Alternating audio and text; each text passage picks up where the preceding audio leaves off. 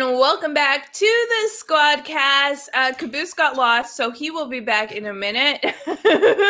but in the meantime, we're going to start uh, discussing the uh, best MMO RPGs coming in 2021 and beyond.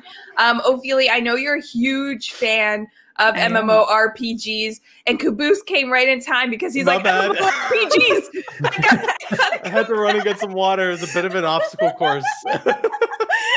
he was like, "Oh, I need to hear more." So, uh, give us the rundown on what we could expect.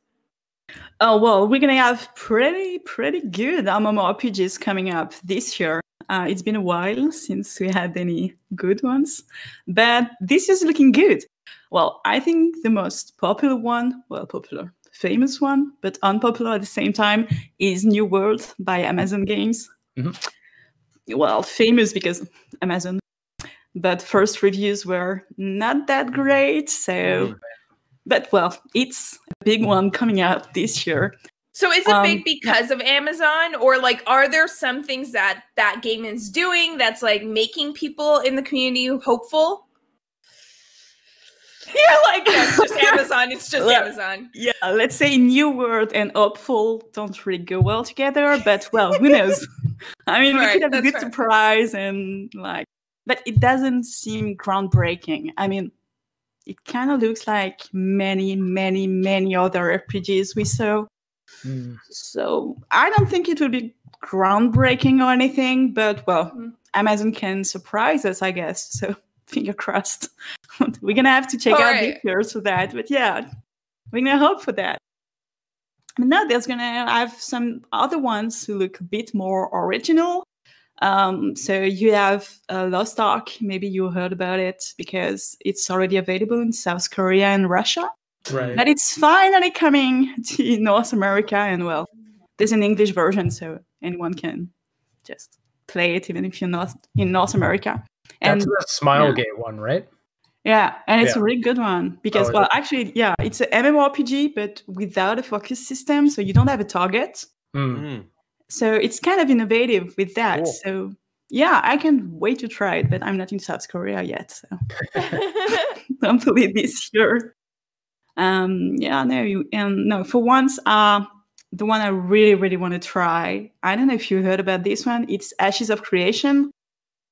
It's No. basically just like any other MMORPG, but whatever you do in game impact the environment you you live in. Like, let's say you get in the forest and kill, I don't know, every wolf you get to see, then the time by time the area will change. Like you do quest, it will build a little camp, village, town, and then a huge city. And it's just up to players to choose where they want to quest. So to see what they want to develop. And I think that could make a great, great thing in MMORPGs. Are there any other games that are doing something similar to that right now? Because I'm not familiar with the MMORPG community. Not really in MMORPGs. You have some games like uh, Eco, who does that. Mhm. It's basically you have a job and you build stuff and you trade with others, and but that's not an MMORPG. It's like 30, 40 people max. So Mm. at this scale, I think it's pretty new. And I don't know how it's going to go because, well, it can go either way because if people don't get involved, then nothing will happen. And if Mm. everybody does it, then it's all the same. Right. I'm curious to see where it goes. Do you guys have your eyes on any MMORPG? I'm not sure that's kind of your cup of tea, but do you have eyes on something?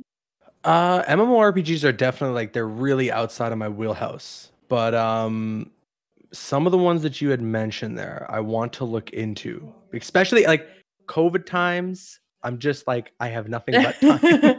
Right. so like if there the you know mass effect's coming up the trilogy like i'm definitely going to try that out and and any of the games that you listed there i'd be willing to try out just to see and introduce myself to the genre Wow, yeah, Hmm. they're, they're cool ones. Mm, yeah. It's not always medieval fantasy because you have a steampunk one coming out. It's called called Corepunk, and Yeah. it's steam like basically it's like Diablo goes steampunk with friends. Okay Oh, Um, cool. That's cool. Yeah, I think you could like it. It's you just have to find your one and go for that niche. Your niche. Mm. See, but that's the thing. Like, I find MMORPGs, they just are so intimidating because it seems like it takes so much time out of your day, which, you know, gaming does take a lot of time. But like I've mentioned, and I'll continue to mention, if you're playing Death COD is that game for me right now. Oh, oh gosh, really, Caboose? Every topic today, Death Stranding, nudge. Give me the game, man. Just let me love it. Um, no, but yes, Death Stranding is one of them. But COD takes up a lot of my time, right? Right. So that's kind of like the shooters the genre I go to. When I look at MMORPGs, although I do enjoy RPGs, MMORPGs it's just like obviously massive, right? Huge. Yeah. Um, on a scale where it's just a lot of time I feel like you have to dedicate. I don't know where to start necessarily. Am I picking the right one? Because if I pick this one, I'm gonna be stuck with it because I don't want to start something and then like cancel out after level like 50, you know? Yeah. so so it's very intimidating for me to kind of get into that genre. Yeah, I I, think yeah. I'm. I, I'm I'm kind of right there with you. Like MMOs typically scare the ever loving hell out of me. Just thinking about how much time I need to invest into this game. So it's like for me, because I like review ga- a lot of games or I create a lot of content regarding games. Like I'm very rarely on a specific game for more than maybe two weeks at maximum. And just thinking about okay, well, I'm gonna for instance, New World is probably like the, the one I've been keeping the most eye on just because it's intriguing to me. But just thinking like, okay, there are people going to be spending 200 plus hours into this, investing a lot of time. I'm only going to be there for two weeks, and then maybe a break comes up, and I'm like, I want to jump back into New World. Wow, what's going on?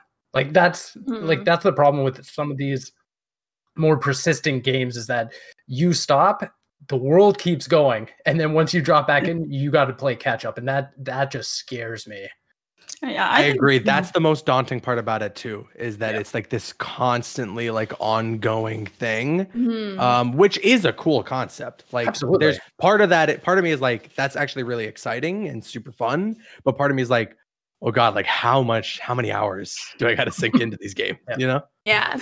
Yeah, but I think it's I just more like- intimidating than it is. Yeah. Sure. Mm, Mm. Because well, once you you, get into it, it's not that. okay.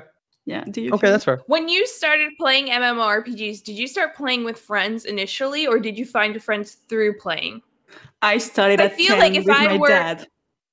That's a my father put That's me on friend, World of. Warcraft. oh and that's he said, now you get with it. And I was so terrified by wolves because there are wolves in World of Yeah. Warcraft. And I was 10 and I was creeping out.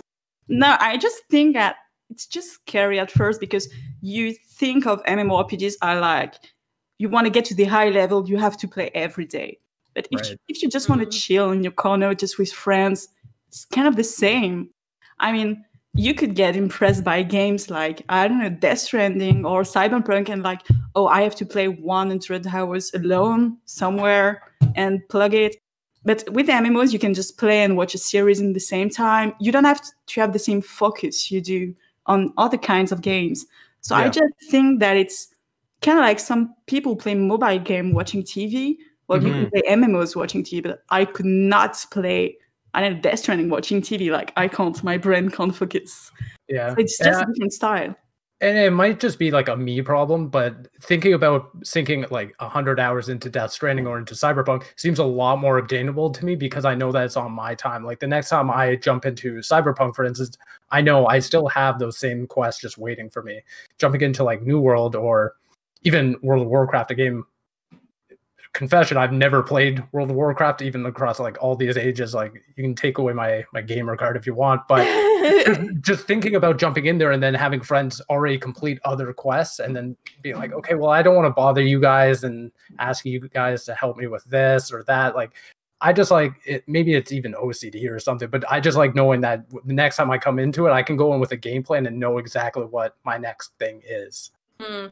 Do you know what though? Do you think it's part of like that common misconception of MMORPGs being so intimidating because you have to dedicate all that time may come from like our experiences like more console PC gamers ha- playing games that are more adventure based that have that end game. Like you're you're Mm. playing towards Mhm. the end of the story, right? You know, okay, although I've put in, you know, 20 hours, I have another 20 to go to complete the game. And then, you know, if I want to spend more time, I could do that with side missions, right? Yeah. yeah, sorry. I That was was, like, that was for, that was for Steve. That was for like my fellow, like, you know, Oh. MMORPG noobs. Like, It- do you guys feel like maybe that's probably why we're so intimidated?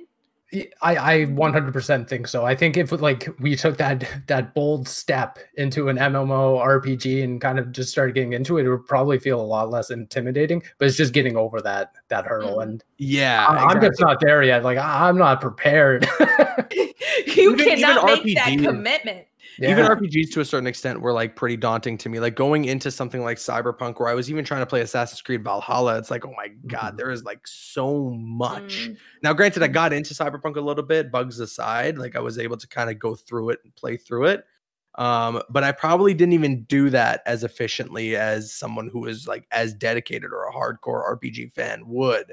You know, so now and now I know games like Gotham Knights coming out this year, and that's going to be an RPG. So like that'll probably be kind of my first step into that that genre and really Mm. trying to focus in on creating the best build for my characters and stuff Mm. like that. So I'm Mm. excited. I'm excited for it. Um, but yeah, even like to an extent, RPGs give me that daunting feeling of like, oh my god, this is a little overwhelming. So when you add the MMO aspect to it, it's like it's it is intimidating. But again, I I'm always willing to try out some some new games. Yeah, it's Yeah. it's another genre basically like playing sports game or adventures game it's not the same and you don't have the same feeling and it's kind of the same with mmos you don't play to finish the game you just play Mm. to be with your friends and when, Right. and when you were talking about quest and not wanting to bother friends you don't really because the only time you need other people is to do dungeons or raids and you can play with anyone so you can play MMOR as just a single game. You don't Mm. have to be social, but Mm. you can if you want to, and that's the addictive part because it's basically like launching Steam or PlayStation and seeing your friends online, Sure. but they're already playing your game with you Yeah. right now. Yeah. So it's yeah, it's kind of the you're not looking for the same thing. You're not looking for the story or well, some do have great stories like Final Fantasy, but that's not the main thing to be looking for. Yeah. Mm. And I think that's yeah, the hurdle which- too. which goes back to. Go ahead, Steve. Sorry, Camille, go ahead. Oh, I think that's the main hurdle too. Like I think of why I play COD so much, and it- because it's easy to just drop in and you know get into a party with my friends. Even like if I'm taking an hour break from say cleaning, I could just jump into a COD match and then jump out and then be like, "All right, peace, guys." Like I'm not ruining their experience too much because they'll probably just hop into a trio or something like that, right? Yeah. Um, whereas like an MMORPG, I'm like, okay, I want this experience, but then I need friends who play this MMORPG to like feel like it. I would play it more for the social aspect, knowing like the type of person I am to play with my friends. That's why I would play it more. And mm-hmm. then yeah, the fear of falling behind. I think like that's the hardest part. I need to get over that hurdle of like it is easy to jump into an MMORPG. Like just set that, you know, mindset that I could do it. Yeah. Yeah. And you you're only falling behind if you aim for the highest spot. Like if Right. you want to perform. Right. If you're just a casual player who wants to do a dungeon or two or just raiding, you don't really care because extensions come out like every two years, Mhm. an average for an MMO. So before falling behind, well, you have two years of not playing. So of course you'll be falling Okay. behind. So Did that's we consider Destiny an MMO RPG? I would think so. I would. yeah. Because I get, I guess I'm into one. I Yeah. guess I have okay, one. okay. Oh no. Okay, so there's there's like that Ophelie's is like, no, that doesn't I'm count. Like, she, I feel like her If it inner doesn't count, it doesn't count. MMORPG nerd is like hurting. She's like, no, But like the thing No, is- it is. It is multiplayer. It is. the thing the thing is about Destiny though, is that like that's that's what I'll do is like I'll play I'll I won't necessarily max out my character, but I'll try out all the new activities and then I kind of leave it alone until Mhm. there's a new expansion or brand new content to Mhm. check out again. Like that's kind of been my my time with Destiny 2 and I've pretty much repeated that over however many years since Destiny 1. So I mean, if we consider that an MMORPG, Bungie says that it is, I think, if I remember correctly but I know like some people who play that specific genre of games are like, so so like if it's not, that's fine. But like if if people consider it to be, then I guess that's the one I have under my belt. That's it. Yeah, it Yeah. follows the model. I mean, MMORPGs are basically you buy the game one time and Yeah. you just up- upgrade it, but you never buy it again. You have DLCs. You have well, World of Warcraft Classic went out. Well, I was ten, so I'm obviously not ten anymore. But Mm. so and you don't need to buy another game to continue the story, and that's what they do in Destiny. So yeah, I assume it's kind of similar. Yeah, to kind of uh, Caboose's point, I think yeah, there is that. I don't, I don't want to call it like a mid tier, but almost kind of like mid tier where you have your destinies, your I would even put division in there, or something that Yeah. is- that is persistent and does have those multiplayer qualities. Those ones I can find myself getting behind just Yeah. because of you can have that those time commitments. And then also I don't know if this is going to be true across the whole board, but with Destiny specifically, if you if you walk away from that game and the next expansion comes out, they have that kind of like bump up where they're just like, okay, we're just gonna we're just gonna let you level up to where everyone is at this point, so that way you can just continue playing this new content with all your friends and not have to worry about Yeah, that. it's a very I love light, that. very loose MMORPG. you know? Exactly, and that makes it so much more accessible. I don't know if like New World or any of these other like hardcore ones do something similar, but that makes it more accessible to someone like Yeah. me, anyways. Yeah, I agree. World of Warcraft does, but Yeah. well, you have to pay because it's Blizzard. Right. But I don't know about the upcoming ones because, well, upcoming. So Sure. Yeah. That's true. I guess we'll see. sure. Yeah. Um, we'll have, and we'll also have to see if we maybe next time, Ophelie, when you're on, if we actually hop into an MMO proper RPG. I to do um, that. because okay, all right, okay, we'll have to set that up then.